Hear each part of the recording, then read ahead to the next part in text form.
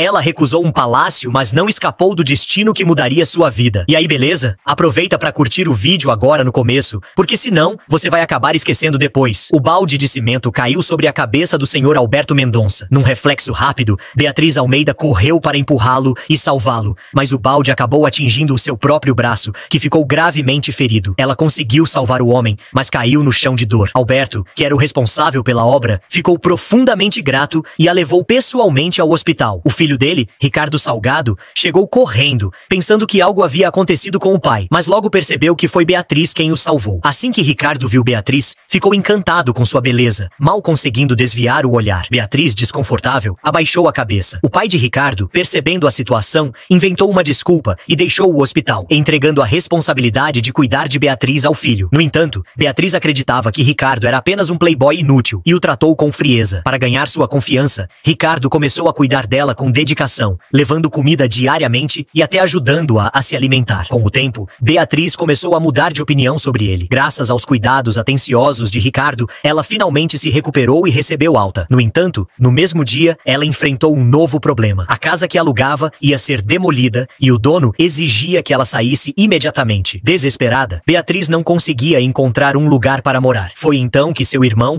Leonardo Amaral, ligou dizendo que haviam encontrado uma nova casa. Quando Beatriz chegou à nova casa, quem a recebeu foi Ricardo Salgado. Ela imediatamente percebeu que aquilo era obra dele e, furiosa, perguntou o que significava. Ricardo explicou que a casa era um modelo da empresa e que achava que a família dela faria o lugar parecer mais acolhedor. Ele mencionou que todos os outros imóveis já haviam sido vendidos, mas aquele não, por ser muito impessoal e parecer um hotel. Ele implorou para que eles ficassem lá, pois isso aumentaria o valor do imóvel. Beatriz, desconfiada, insistiu que não podia aceitar a ajuda dele sem motivo. Mesmo quando ele explicou que só queria ajudar, ela se recusou e saiu da casa. Ricardo, determinado, a seguiu e declarou seus sentimentos, mas Beatriz recusou, pois já tinha namorado. Algumas horas depois, Leonardo, o irmão dela, ligou novamente, dizendo que a mãe deles, Dona Clara, havia desaparecido. Beatriz correu de volta para a casa de Ricardo, onde encontrou a mãe, sã e salva, percebendo que havia sido enganada pelo irmão. Antes que pudesse repreender Leonardo, Ricardo explicou que só queria ajudar. Ainda assim, Beatriz